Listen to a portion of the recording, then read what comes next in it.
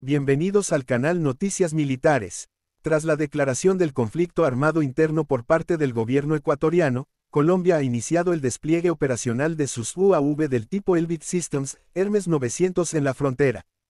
El empleo de este sistema remotamente tripulado ha sido ordenado por el comandante de las fuerzas militares colombianas, general Hernán Giraldo, con el objeto de realizar operaciones de inteligencia, vigilancia y reconocimiento, sobre puntos precisos de la frontera y en misiones que se realizarán durante jornadas continuas diurnas y nocturnas de hasta 24 horas. Las aeronaves serán desplegadas por el Escuadrón de Combate número 217, Quimera, destacado en el Grupo de Combate número 21 de la Fuerza Aérea Colombiana, FAC, ubicado en el CACOM número 2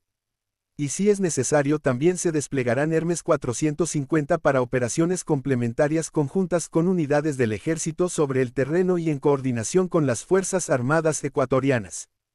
Los Hermes 900 de la FAC disponen de sistemas electro-ópticos, infrarrojos, sistemas de búsqueda y fijación de objetivos por designador láser, equipos GMTI, Comint DF, el INT, doble sistema de cifrado Datalink, los, para el encriptaje de datos, comunicaciones satelitales, BLUS más allá de la línea de visión, con doble encriptación y disponen del Independent Auto Takeoff and Landing, la TOL, que facilita el aterrizaje automático cuando sea necesario.